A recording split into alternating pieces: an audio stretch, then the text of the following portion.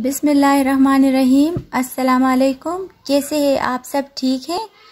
हमने English letters के बारे में पढ़ा कैपिटल लेटर्स और स्मॉल लेटर्स के बारे में, कि वो किस तरह लिखे जाते हैं।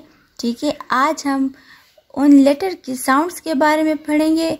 उसको साउंड्स भी कहते हैं और फोनिक्स भी कहते हैं। हम ये साउंड्स इसलिए सीखते हैं क्योंकि ये हमें रीडिंग में बहुत हेल्प करते हैं। तो चलिए शुरू करते हैं।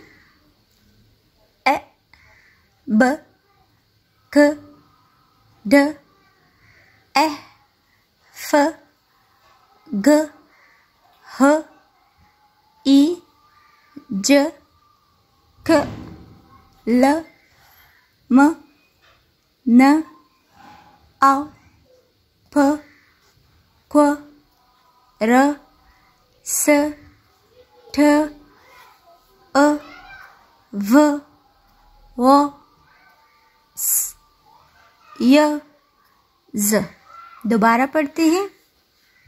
ए ब, ख, ड ए फ, घ, ह ई ज, ख, ल, म, न औ फ, ख, र, स, ट, अ, व व, स, य z